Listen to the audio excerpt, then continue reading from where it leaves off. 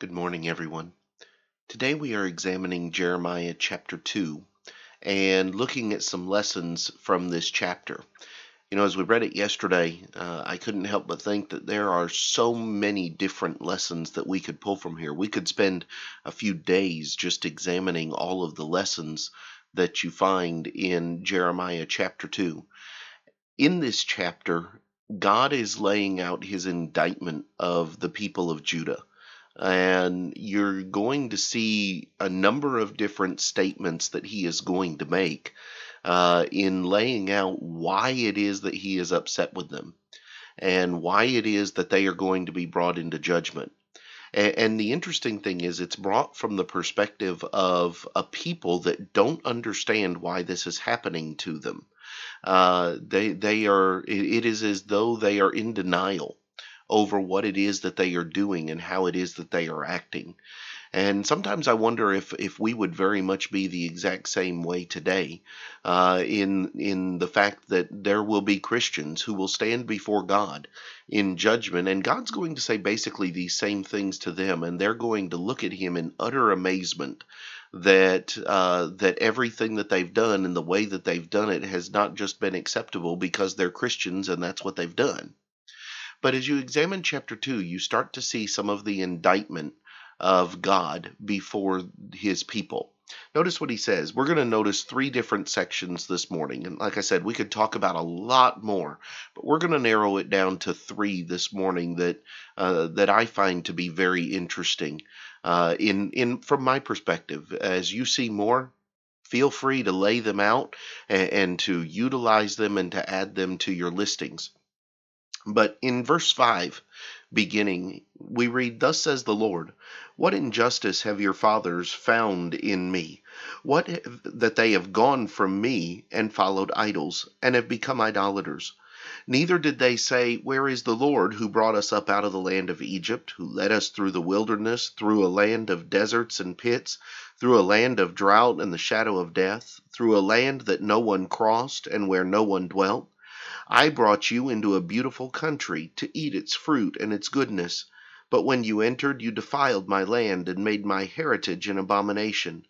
The priests did not say, Where is the Lord? And those who handle the law did not know me.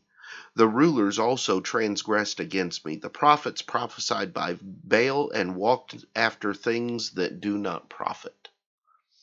God says, What did I do to you?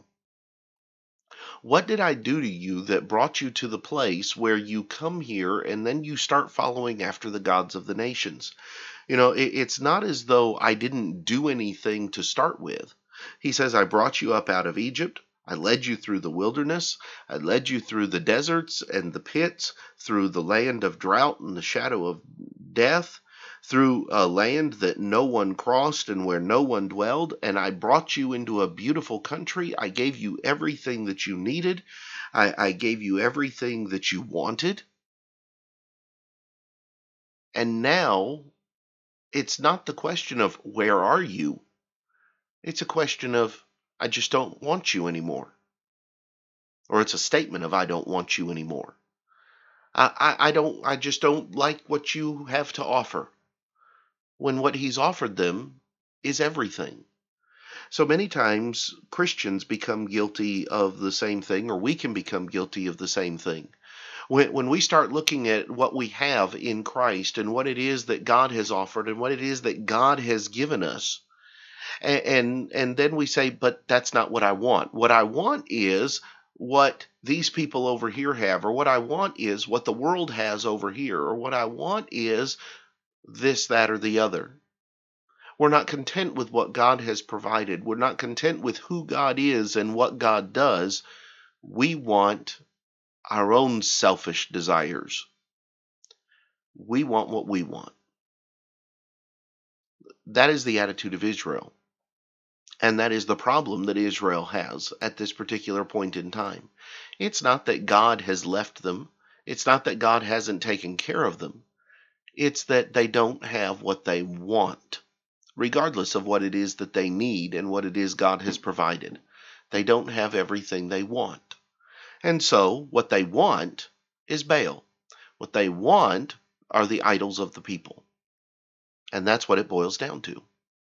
The second thing that I've pulled from chapter 2 comes from verses 20 and 21, where there God says, For of old I have broken your yoke and burst your bonds, and you said, I will not transgress.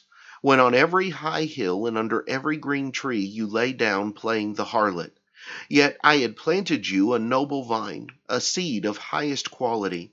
How then have you turned before me into a degenerate plant of an alien vine?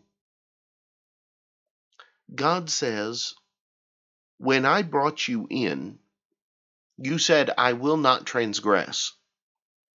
And you go back to Exodus 19, and that is exactly what they say.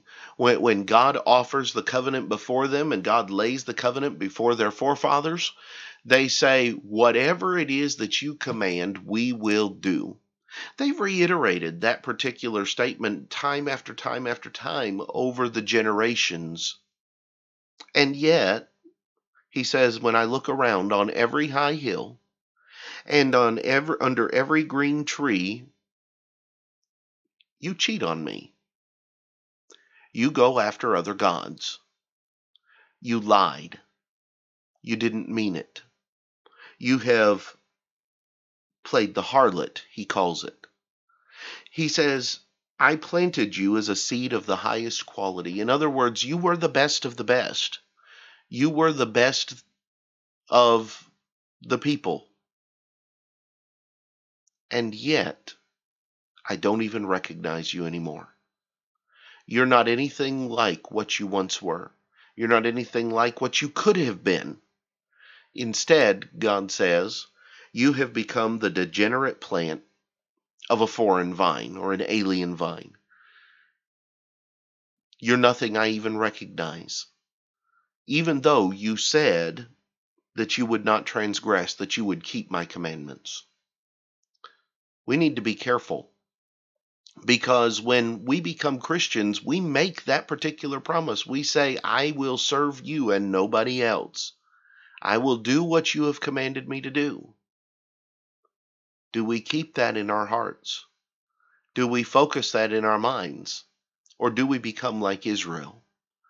The third area that I want to point out is verses 26 and 27, where there Jeremiah says, As the thief is ashamed when he is found out, so is the house of Israel ashamed, they and their kings and their princes and their priests and their prophets, saying to a tree, You are my father, and to a stone, You gave birth to me. For they have turned their back to me and not their face. But in the time of their trouble, they will say, Arise and save us. Here you see in a nutshell the problem in Israel. Israel does not become ashamed of what they're doing until they're caught, until they go into trouble and trial and tribulation, until things do not go their way any longer while things are going the way they want, God says, they will talk to a tree saying, You are my father, and to a stone saying, You gave birth to me. The, the idolatrous mindset of worshiping that which can do nothing. He says, But then when bad things happen, you turn to me and ask me to save you. It is amazing to see the way that things go when we're not doing what we're supposed to do. We act as though we don't need God. We don't want God. We want to go our own way. We want to do our own thing. We don't want the rules. We don't want the regulations, the laws, the commandments. And then all of a sudden, things go wrong. And then where do we have to turn? The only place to turn is God. That's the way many people are. Many people don't have a need for God until they do. And that's what God is talking about here. As the thief is ashamed when he is found out, so is the house of Israel ashamed. Now they're not ashamed from the standpoint of what they're done they've done, they're ashamed because they've been caught. And there will be many people on the day of judgment who will be ashamed because they got caught. Those are some of the lessons that I found in Jeremiah chapter 2. As I said before, there are a lot of more things that we could examine and a lot more that we could say about chapter 2. And so if you have things that you want to add, please feel free to do so. But those are some of the things that I found in chapter 2. Tomorrow, Lord willing, we will begin an examination of Jeremiah chapter 3. But until then, have a great day.